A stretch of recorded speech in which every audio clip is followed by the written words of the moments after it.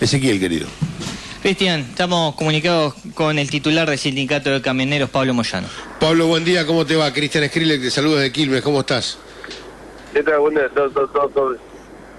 Hola. Eh, ¿Me escuchas bien? Sí. Pablo, Yo ¿cuál- sí, vos. Sí, perfectamente. Eh, bueno, Sí, hablábamos con gente del gremio, ya con Mancilla, que está ahí frente al municipio de Quilmes, han eh, rodeado el municipio con camiones. ¿Hasta dónde va este conflicto?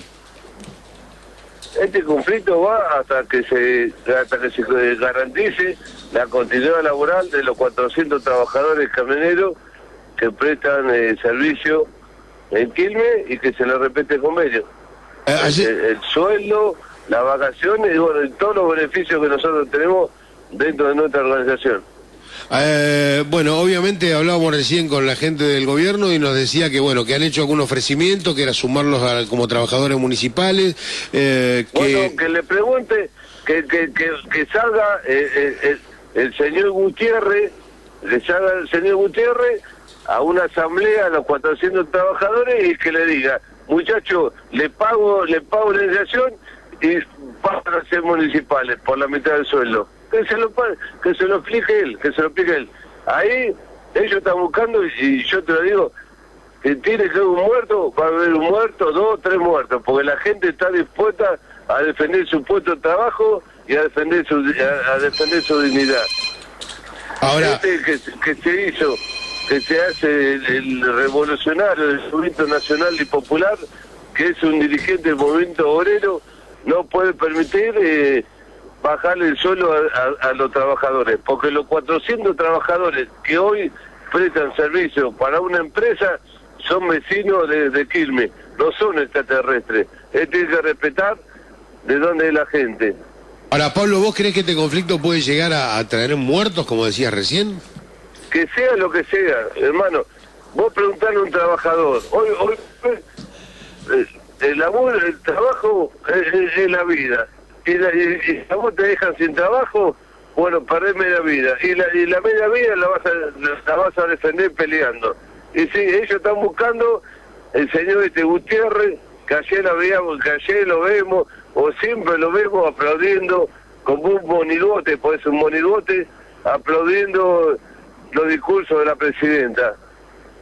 Él es un dirigente del movimiento obrero y tiene que defender el trabajo y la dignidad de los trabajadores. No puede ser que un día para el otro se pongan la- las cooperativas, pues son todas cooperativas truchas que no tienen obra social, que no tienen eh, ninguna defensa de los trabajadores, y él quiere, re- él quiere reemplazar los trabajadores con, con un trabajo digno pa- para bajar los sueldos.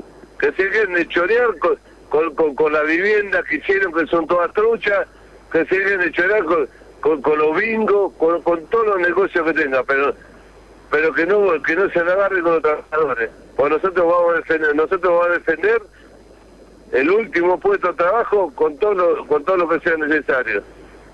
Y él va a ser responsable, y él va a ser responsable de lo que pase, porque los trabajadores camioneros perder el trabajo es perder media vida, y la media vida que nos queda lo van a defender como sea.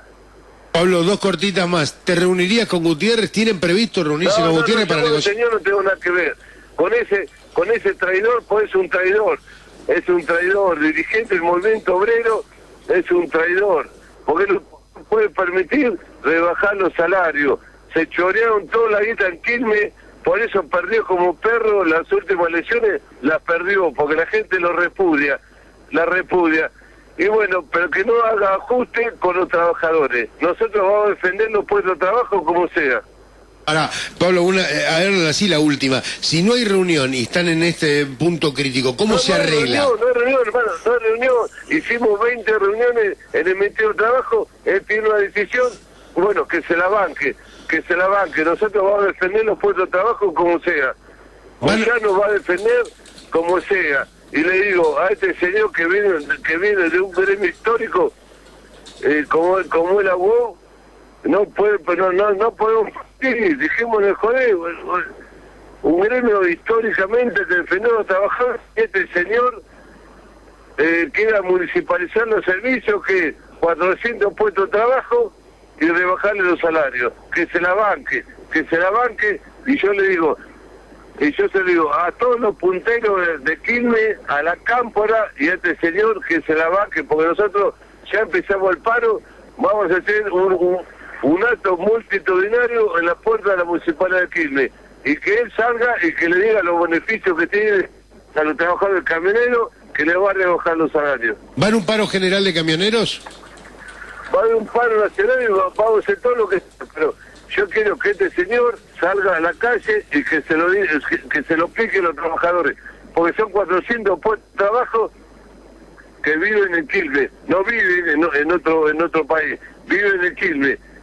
Y tendrá a la familia, a los trabajadores y, y, se lo vamos a llevar a la, puerta de la casa, que se la banque, porque es un traidor, porque porque es un traidor, porque es un dirigente del movimiento obrero, es un traidor que va y aplaude la política de la presidenta, rebajándole los salarios a los trabajadores.